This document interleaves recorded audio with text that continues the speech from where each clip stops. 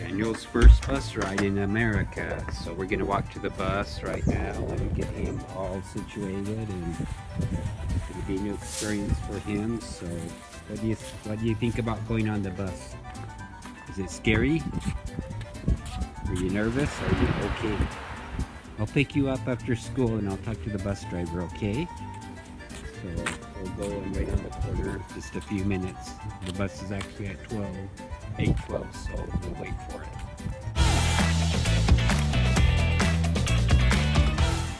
Okay, we're uh, walking toward the bus stop in front of our um, town home. And we're gonna wait for a bus 1465. So you go ahead and uh, gonna wait by that uh, green utility box over there. So we're walking and this will be his first trip. So it's gonna be a good experience for him, but I know he's nervous, I hope he'll be.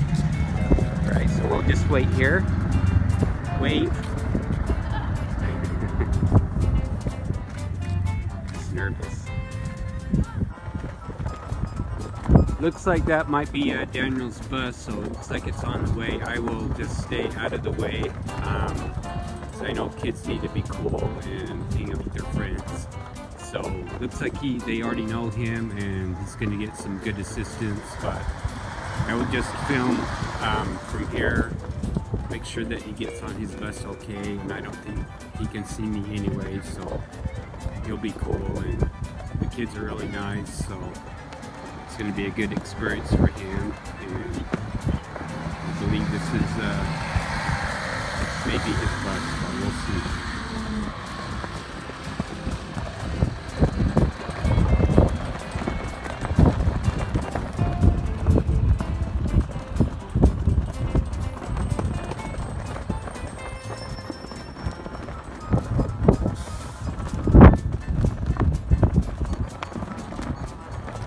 the, all the kids are uh, getting on the bus now. Looks like it's a different uh, bus number than what they showed me, so it's good that um, the kids already know Daniel and can assist him.